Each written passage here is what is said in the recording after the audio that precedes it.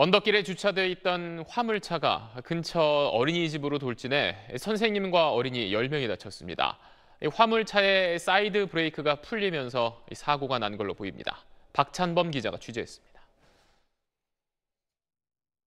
주택가 밀집 지역에 있는 한 어린이집입니다. 주차된 1톤 화물차가 뒤쪽으로 조금씩 밀리더니 어린이집 문으로 돌진합니다. 곧이어 119 구급대가 도착해 다친 어린이들에게 응급처치를 실시합니다. 오늘 오후 3시 반쯤 일어난 이 사고로 어린이집 교사 48살 김모 씨와 6살 하모 양 등 원생 9명이 다쳤습니다.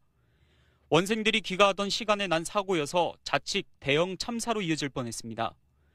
문 앞에서 버스를 기다리던 평소와 달리 어린이집 안에 있었던 게 천운이었습니다. 평상시엔 나와 있었다고. 근데 오늘따라 이제 안에서 기다리고 있다가 숨만 다니고 여기 나와 있었으면 큰일 날 뻔했어.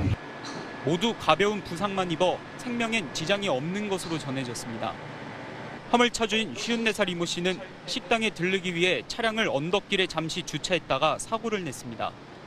언덕길에 차량을 주차할 때는 이처럼 지렛대를 바퀴 밑에 두거나 운전대 방향을 벽 쪽으로 해두었어야 되는데 사고 당시 운전자 이 씨는 이러한 안전 조치를 전혀 지키지 않은 것으로 전해졌습니다. 경찰 조사에서 이 씨는 주차하면서 사이드 브레이크를 걸어놨다고 진술한 것으로 알려졌습니다. 도로교통법 49조에 그 운전석 이탈 시 안전조치 의무 위반으로 보시면 돼요. 기본적인 안전 수칙조차 지키지 않은 어른의 부주의가 또 한 번 참극을 부를 뻔했습니다.